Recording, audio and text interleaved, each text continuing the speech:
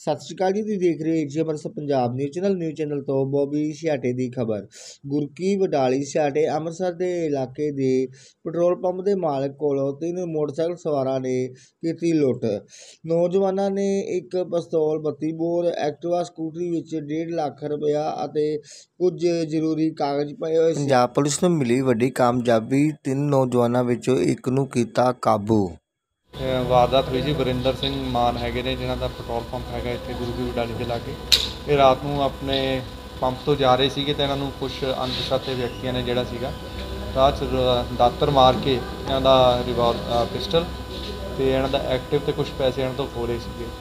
ਇਹਦੇ ਵਿੱਚ ਬਹੁਤ ਹੀ ਮਿਹਨਤ ਕਰਦੇ ਹੋਏ ਸਾਡੇ ਗੁਰੂ ਕੀ ਵਡਾਲੀ ਇੰਚਾਰਜ ਬਲਵਿੰਦਰ ਸਿੰਘ ਹੁਣਾਂ ਨੇ, ਨਾਲ ਐਸਐਚਓ ਸ਼ਾਟਾ ਨੇ ਤੇ ਡੀਐਸਪੀ ਆਪਣੀ ਏਸੀਪੀ ਵੈਸਟ ਕੰਪਨੀ, ਉਹਨਾਂ ਨੇ ਬਹੁਤ ਵਧੀਆ ਕੰਮ ਕਰਦੇ ਹੋਏ ਇਹ ਦੋਸ਼ੀ ਨੂੰ ਜਿਹੜਾ ਹੈ ਗੁਰਲਾਲ ਸਿੰਘ ਹੈਗਾ ਉਹਨੂੰ ਗ੍ਰਿਫਤਾਰ ਕਰ ਲਿਆ ਤੇ ਉਹਦੇ ਕੋਲੋਂ ਜਿਹੜਾ ਹੈਗੀ ਇਹਨਾਂ ਨੇ ਖੋਇਆ ਸੀਗਾ ਪਿਸਟਲ ਉਹ ਵੀ ਬਰਾਮਦ ਕਰ ਲਿਆ ਐਕਟਿਵਾ ਦੀ ਬਰਾਮਦ ਕਰ ਤੇ ਬਾਕੀ ਸਾਰੇ ਇਹਦੇ ਨਾਲ ਦੇ ਸਾਥੀ ਜਿਹੜੇ? ਬਾਕੀ ਵਿਅਕਤੀ ਅਸੀਂ ਆਇਡੈਂਟੀਫਾਈ ਕਰ ਲਏ ਆ ਤੇ ਉਹਨਾਂ ਨੂੰ ਵੀ ਜਲਦੀ ਗ੍ਰਿਫਤਾਰ ਕੀਤਾ ਕਿੰਨੇ ਬੰਦੇ ਸੀ ਜਿਹਦੇ ਵਾਰਦਾਤ ਇਹਨਾਂ ਨੇ ਵਾਰਦਾਤ ਕਰਨ ਵਾਲੇ ਜਿਹੜੇ ਸੀ ਪੰਜ ਵਿਅਕਤੀ ਸੀ।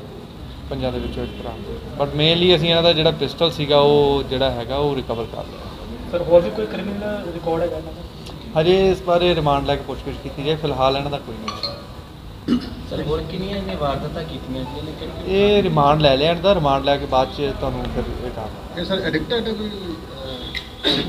ਇਸ ਚੀਜ਼ ਬਾਰੇ ਅਜੇ ਪਤਾ ਕਰਾਂਗੇ। ਸਰ ਕੀ ਨਾਮ ਹੈ ਇਹਦਾ ਤੇ ਕਿੱਥੋਂ ਦਾ ਰਹਿਣ ਵਾਲਾ ਜੀ? ਇਹ ਗੁਰਲਾਲ ਸਿੰਘ ਹੈਗਾ ਜਾ ਇਹ ਗੁਰੂ ਕੀ ਵਡਾਲੀ ਜਿਹੜੀ ਹੈਗੀ ਇਹਦੇ ਲਾਗੇ ਹੀ ਰਹਿਣ ਵਾਲਾ। ਚੇਤਨ ਚੇਤੂ ਆ ਚੇਤੂ ਆ ਸਰ ਜਿਹੜੀ ਗੱਡੀ ਇਹਨੇ ਵਰਤੀ ਸੀ ਉਹ ਬਰਾਮਦ ਹੋ ਗਈ ਹਾਂ ਜਿਹੜੀ ਇਹਨਾਂ ਨੇ ਖੋਈ ਸੀਗੀ ਗੱਡੀ ਉਹ ਅਸੀਂ ਬਰਾਮਦ ਕਰ ਲਈ। ਸਰ ਕਦੋਂ ਦੀ ਘਟਨਾ ਸੀ ਕੀ ਇਹ? 10 5 23 ਨੂੰ ਹੋਈ ਸੀਗੀ ਰਾਤ ਨੂੰ ਪੌਣੇ 10 ਵਜੇ ਹੋਈ ਸੀ ਰਾਤ। ਕਿੰਨੇ ਕੁ ਬੰਦੇ ਇਕੱਠੇ? ਪੰਜ ਬੰਦੇ ਗੈਦਰ ਹੋ ਕੇ ਗਏ ਸੀ ਸਾਰੇ ਹਾਂ ਜਿਹੜੇ ਉੱਤੇ ਜੇ ਪੰਜ ਗਏ।